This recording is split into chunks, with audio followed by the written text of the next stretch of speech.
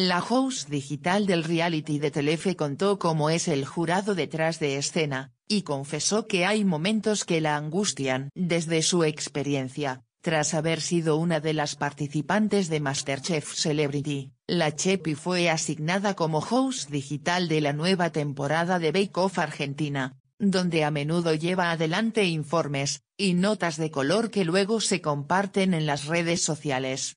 Y fue en diálogo con Catalina Dluji para el programa de radio Agarrate Catalina que la comediante e influencer se refirió a los integrantes del jurado y a los participantes del reality de pastelería, reconociendo que se angustia cuando los ve llorar detrás de escena, cuando están en el rol de jurado, son tres personas que saben muchísimo, que estudiaron y tienen un paladar tan exquisito que cuando prueban analizan mucho. Son muy exigentes los tres, aunque la más exigente es Doji, manifestó la Chepi durante la entrevista.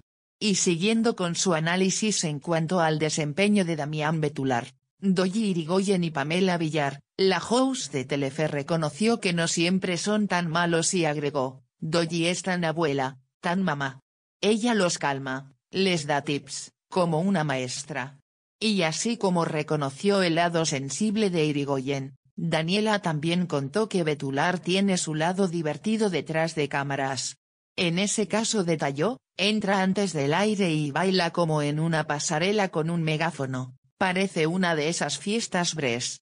Deberían poner esto al aire, Fuera de cámara es increíble lo que te reís. Pero así como se muestran exigentes en cuanto al certamen de pastelería y más buenos fuera de cámara, la influencer confesó que hay un momento en el que ella se angustia, y es a la hora de las devoluciones.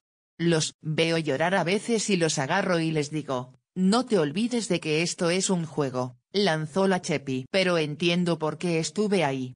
Ellos son amateurs, no son del medio, no conocen la tele, y eso me parece mucho más difícil. Cerró la actriz y comediante tras exponer cómo es la realidad del formato en el que compiten con recetas de pastelería y que cubre para las redes.